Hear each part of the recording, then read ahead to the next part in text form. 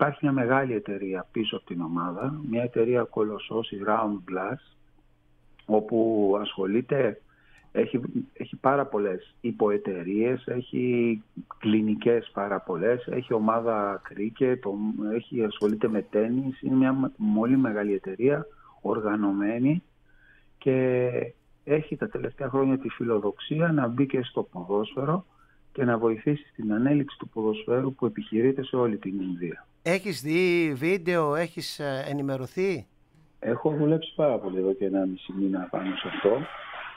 Ε, γιατί; Από όταν έγινε το ενδιαφέρον, ε, από όταν μάλλον έγινε η θετική από πλευρά τους απάντηση στο να πάρουν εμένα προπονητή, είδα τους αγώνες της περασμένης χρονιάς για να διαμορφώσω άποψη για το ήδη υπάρχον ρόστερ κρατήσαμε κάποιους παίχτες, εντοπίσαμε πού πρέπει να κινηθούμε, σε ποιες θέσεις να πάρουμε ποδοσφαιριστές. Στην Ινδία παίζουν τρεις ξένοι και ένας Ασιάτης, όλοι οι άλλοι είναι Ινδοί, δηλαδή θέλουν να κρατήσουν την εντοπιότητα, το στοιχείο αυτό ε, και να βοηθήσουμε τα νέα τους παιδιά στο να έχουν πόρτες ανοιχτές να ασχοληθούν με το ποδόσφαιρο κάτι που έχει λίγο στενέψει στη χώρα μας.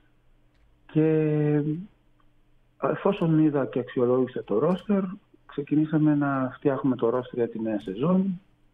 Ε, εκεί υπήρχαν δύο κατηγορίες εισάξιες σαν η I-League είναι σαν να λέμε Α εθνική παραδοσιακή και η ISL Indian Super League είναι η Super League που λέμε τώρα. Σαν υπήρχαν τώρα και Α εθνική και Super League, φανταστείτε, όπου κανένας δεν ανέβαινε, κανένας δεν έπρεπε. Απλά παίζαν όλοι μεταξύ τους στις δύο κατηγορίες.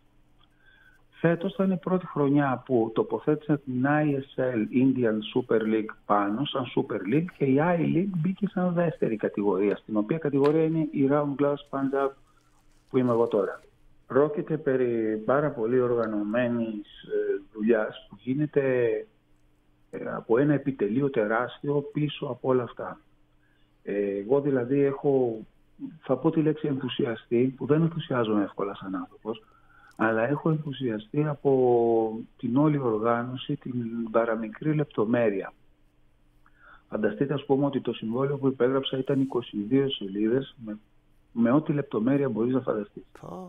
Ε, κοιτάνε ας πούμε τον επαγγελματία, ε, τον κοιτάνε σαν άνθρωπο, τον φροντίζουν τον επαγγελματία ώστε να μπορεί να αποδώσει ε, στα καθήκοντα το maximum και ασχολούνται πάρα πολύ με αυτό.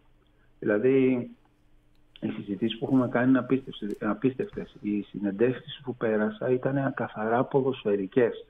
Έχω απολαύσει δηλαδή τις επικοινωνίες μας, τα Zoom meeting που έχουμε κάνει και όλα αυτά με την έννοια ότι έχουν μια κουλτούρα και ένα επίπεδο πάρα πολύ καλό.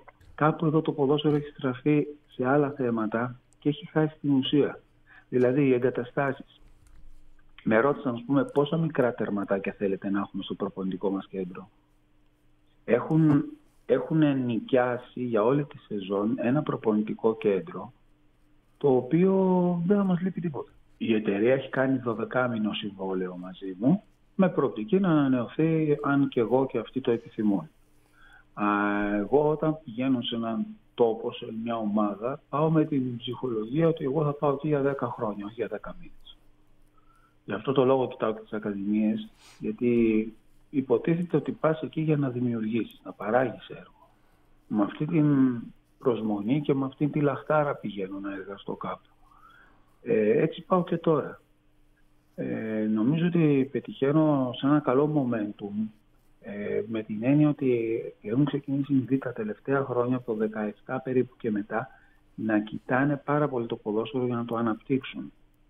Γι' αυτό φτιάχνουν πολύ καλές εγκαταστάσεις και γι' αυτό κοιτάνε και τις ακαδημίες. Γιατί το μυστικό είναι εκεί. Για να φτιάξεις ομάδες πρέπει να έχεις γήπεδα και ακαδημίες.